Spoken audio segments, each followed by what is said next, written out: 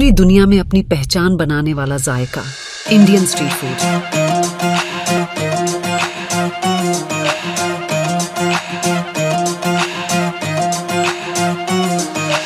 एक अरब चालीस करोड़ की आबादी और उस आबादी के खाने की तलब को दूर करने वाले ये लोग। हर रोज, हर गली और चौराहे पर मौजूद वो शख्सियत जो हर ग्राहक के दिल को उनके पेट से जोड़ने का काम करते हैं। भारत के किसी छोर से शुरू हुई उस जायके की तलाश अंत में पुरानी दिल्ली में आकर ही खत्म होती है। भीड़ को अपनी तरफ़ आकर्षित करती वो महक किसी भी उम्र के व्यक्ति को अपनी ओर खींच सकती है। लेकिन इसमें कुछ खामियाँ भी हैं। जैसे हम इस चीज़ को नजरअंदाज नहीं कर सकते कि हर साल करीब 20 लाख लोगों की मौत सिर्फ़ इसीलिए हो जाती है क्योंकि वो गंदा खाना या गंदे पानी से बनी चीज़ें खा लेते हैं। और इसका कारण सिर्फ़ स्ट्रीट फ़ूड नहीं है। पर कई बार जो खाना हम खाते हैं, हमें पता ही नहीं होता कि वो कैसे बनाया गया है। तो अगली बार जब आप बाहर खाने का जायका ले रहे हो, तब यह बात आपके जहन में आनी तय है की आपकी प्लेट में खाना भले ही दिख रहा है, पर हो सकता है की वो आपके लिए हानिकारक साबित हो।